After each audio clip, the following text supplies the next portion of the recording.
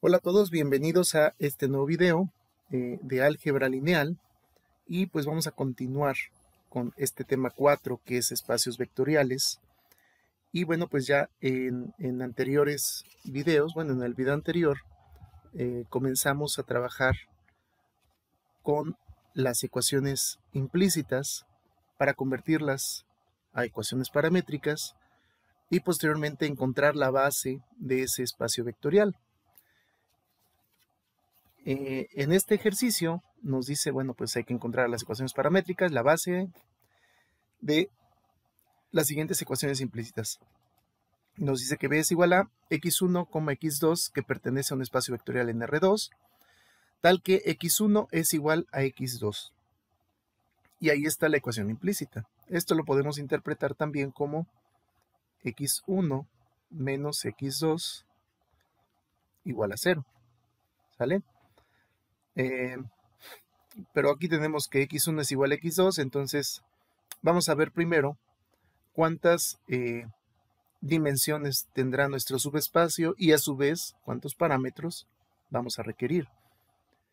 Y para ello, bueno, pues vamos a ver, nos dice que el número de ecuaciones implícitas, ¿cuántos hay? Bueno, pues hay una, hay una ecuación implícita, dice que es igual a la dimensión del espacio, es R2, por lo tanto es la dimensión 2, ¿Y cuánto le tenemos que quitar al 2 para que nos quede 1? Bueno, pues quitamos 1. Y esta es el número de parámetros que vamos a ocupar, 1. Que bueno, pues yo voy a denotarlo por alfa. Ustedes podrán ponerle cualquier otro nombre. Eh, entonces, si tenemos que es un solo parámetro, nos dice también que va a ser un solo vector en el subespacio vectorial y bueno, pues yo decido que x2 es igual a alfa. ¿Sí? Y como nos está diciendo que x1, x, x1 es igual a x2, entonces x1 también es igual a alfa. Y ahí tenemos nuestras ecuaciones paramétricas. ¿Sí? O nuestra ecuación paramétrica. Tenemos este que x1 es igual a 1 alfa y que x2 es igual a 1 alfa también. ¿De acuerdo? Y por lo tanto, la base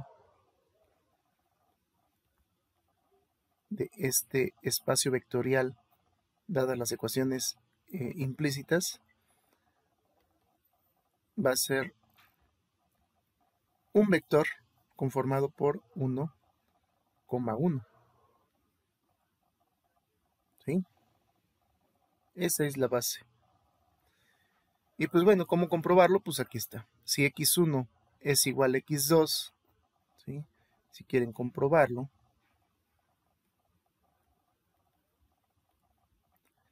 para 1,1, sabes que este es x sub 1 y sabes que este otro es x sub 2 dice que x sub 1 tiene que ser igual a x sub 2. ¿Y cuánto vale x sub 1? Vale 1. ¿Cuánto vale x sub 2? Vale 1. 1 es igual a 1 y por lo tanto, bueno, pues tenemos precisamente ya la comprobación. Se comprueba a partir de la eh, ecuación implícita. Y pues eso es básicamente este ejercicio, no tiene ninguna ciencia, está bastante sencillo, pero bueno, pues es lo que tenemos.